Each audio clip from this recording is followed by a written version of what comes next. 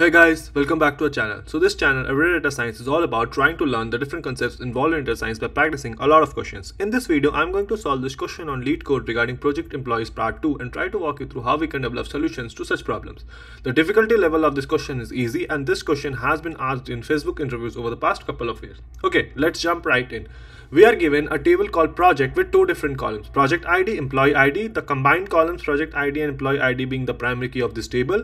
Employee id is also a foreign key to the employee table. Each row of this table indicates that the employee with employee id is working on the project with project id okay?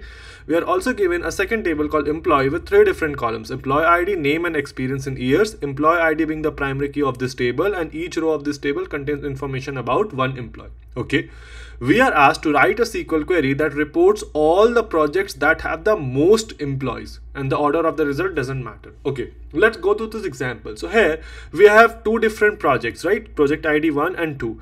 On project ID 1, how many employees are working? 1, 2, 3. So 3, right? And for project ID 2, there are two employees that are working on it, right? Similarly and this is the information more information about the employee table right? So employee id one name experience etc now obviously if you look at it what what is the project id where maximum number of uh, employees are working? So project id one right? Because three employees are working and that is what the output is going to be. So if you look at it we don't even need this employee table for this question right? All we need to do is for each of the project let's find out how many employees are working and then based on that we will see that wherever the number of employees on a particular project is equal to the maximum value just return the project id okay let's start building this query. So from this table called project let's group by right project id right and let's return the project id and then count the number of employees right? So the count employee id so number of employees and let's alias this as num of employee right? So basically what is this going to give for each of the project ID, how many employees are working on it. Let me just run this. This is not complete. So obviously this is going to be a wrong answer. But yeah, if you see pro project ID 1, 3 people are working. Project ID 2, 2 people are working, right? So we have this. Now what we can do is we can store this in a common table expression. So with CTE as, and this entire thing goes into parentheses.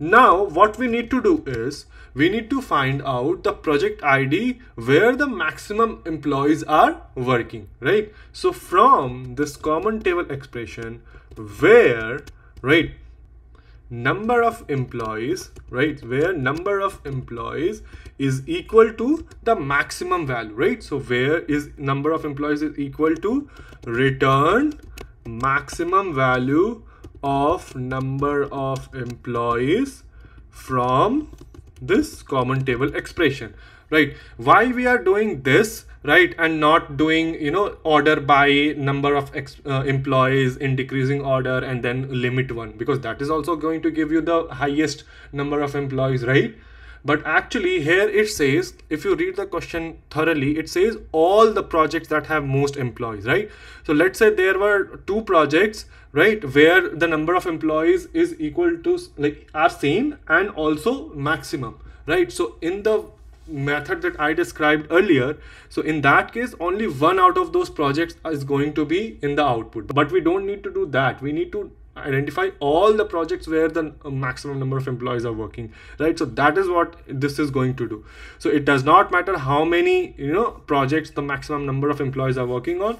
It will keep all those rows where number of employees is equal to the maximum value right? And then once you have that you just simply need to return the project id because that is what the output is. So return project id and since we don't need to order this by anything this looks good. Let me go ahead and run this to see what happens. Okay so this is accepted. Our output is same as expected output. Let me go ahead and submit it to see if it passes all the test cases. So yep, this passes all the test cases and this is how we do it. Again very simple question. All we had to do was identify for each of the project ids how many employees are working. And then based on this wherever the number of employees is equal to the maximum value you just return the project id and the thing that we need to keep in mind is why we are doing this rather than order by and then decreasing manner order by in decreasing manner and limiting it to the first value because we need the question says all the project that have the most employees right? So this is how we do it. Let me know in the comment section if there is a better way or a more efficient way you can think of for solving this problem. Let the solution be in the comment section below. And until then i will see you guys in the next video